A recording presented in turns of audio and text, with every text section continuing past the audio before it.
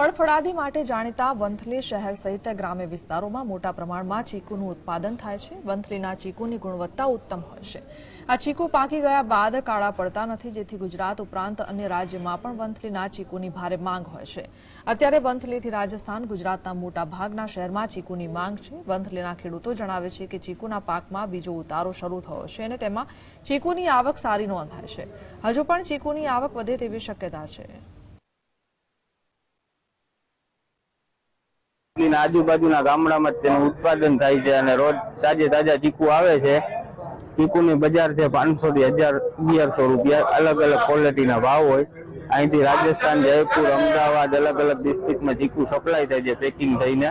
અને ટ્રાન્સપોર્ટેશન પણ અહીંયા સહેલું પડે છે એટલે વેપારી બધા અહીંયા ચીકુની ડિમાન્ડ રાખે છે અને ચીકુનો અહીંનો જે ટેસ્ટ આવે છે વંટલીના ચીકુ